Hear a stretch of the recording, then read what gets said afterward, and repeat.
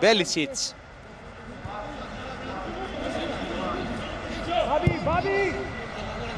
Παγιά για τον Γιάιτς, ποιος κατέβασε, κινείται ο Μίλετιτς, ξανά ο Γιάιτς, συναντούν με τον Σουπάκ, το τακουνάκι για τον Μίλετιτς, η σέντρα στην περιοχή, ο Σαρφόχη πολύ μακριά, ο Γιάιτς έχει χώρο αλλά δεν το επιχειρεί το σούτ.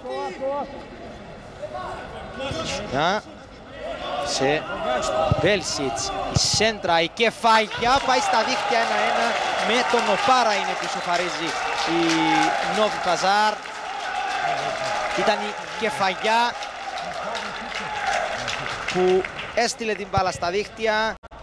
Συνή κεφαγιά, ο Ήγηκε Οπάρα κάνει το 1-1 για την ε, Νόβι Παζάρ.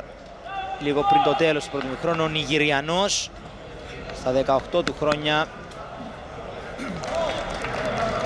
στην πρώτη του εμπειρία αυτός της χώρας του Τιμού Παζάρ σκοράρει που πέρσι στην ομάδα. Εδώ κοιτάξτε την κεφαλιά που έκανε για να κερδίσει τον Χριστοδούλου.